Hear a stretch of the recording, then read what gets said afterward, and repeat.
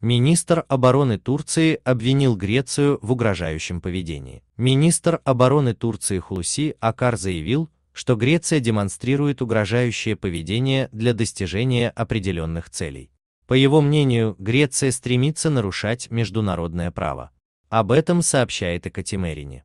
Акар повторил ранее озвученное мнение о том, что острова не могут иметь континентального шельфа, добавив, что греки продолжают свои провокационные действия и усиливают напряженность в регионе, несмотря на конструктивную, мирную позицию Анкары.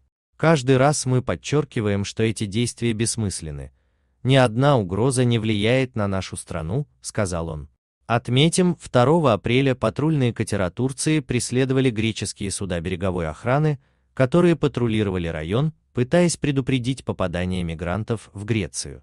Напомним, в марте в Греции двух 17-летних афганцев приговорили на 5 лет заключения. Они принимали участие в поджоге лагеря для беженцев Мария на острове Лесбос. Лагерь Мария был сожжен в сентябре 2020 года. Там находилось 13 тысяч мигрантов. Они не пострадали. Большинство из них переселили в новый временный лагерь на Лесбосе. Ранее Управление Верховного комиссара ООН по делам беженцев сообщило, что более 400 нелегальных иммигрантов были спасены у побережья Ливии.